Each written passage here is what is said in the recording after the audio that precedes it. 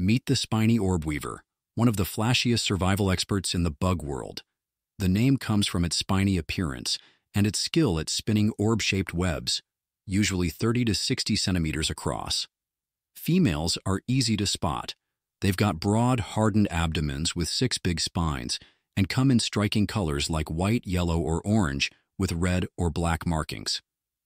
But here's the trick. Those bold colors and spikes aren't for attack, they're for defense. Birds and predators take one look and assume they're poisonous or dangerous. Truth is, spiny orb weavers are harmless to humans. Even their bite is mild, like a bee sting, and they're usually docile unless threatened or cornered. Males, on the other hand, are tiny, with fewer or no spines and less colorful, tend to not build or maintain their own webs, and instead, spending most of their lives constantly on the move, searching for a female to mate with. These spiders feed on all sorts of flying insects, mosquitoes, moths, flies, beetles, which they trap, inject with venom, then drink up their liquefied insides before tossing out the exoskeleton.